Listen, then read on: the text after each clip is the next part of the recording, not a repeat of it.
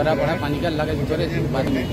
बस अचानक तभी नींद में बसी लेट गया। रात से बोर रात से बोरा बोला मैं मर जाऊँगा मैं मर जाऊँगा मैं मर जाऊँगा। रात से बोरा ये रात होया भी बहुत है। ये हम्म।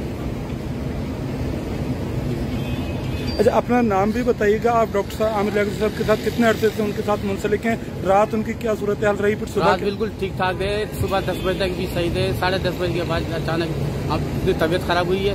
ड्राइवर की उसको हम बाहर लेके उसको पानी डाला फिर हम अंदर गए। हमने जनरेटर बंद किया हमने जो लेट आई थी जनरेटर बंद किया। फिर उसको जाके देखा था ये बिल्कुल नींद में ही गश हुए पड़े। हमने पानी डाला होश नहीं था इसको। और मैं एंबुलेंस फ़ोन किया हमने गाड़ी बाहर निकले वो दुकानदारों को बुलाई ये डॉक्टर साहब की तबीयत खराब हो गई। आप एंबुलेंस को बुला लो हमारे को नंबर पता नहीं। उन्होंने गाड़ी मंगाई हमारे फ़ोन किया। गाड़ी आई गाड़ी पर डाल के इधर लगे इधर आगे पर अच्छा किसने गाड़ी मंगाई एंबुलेंस किसने मंगाई? वालों ने फ़ोन किया गाड़ी वालों ने। दुकानदारों ने। डॉक्टर आमिर लियाकत के कोई अहले खाना को उनके बच्चे वगैरह नहीं कोई बताया अभी आपने? तक आए नहीं उनको इतला दी अभी कोई बारिश अल्लाह करे उनके बेटा और बेटी आ जाए खुदा करे। हम तो आप अपना नाम बताइएगा क्या ये बताइएगा कि रात में कोई बात हुई थी? आपकी क्या बात हुई थी? तबीयत क्या बता रहे थे? क्या कह रहे थे कि मेरी तबीयत खराब है मैं मर जाऊँगा क्या? भैया रात को बोल रहा था मैं सुबह इस्लामाबाद जा रहा हूँ बस। ये मेरे को बोल रहा था।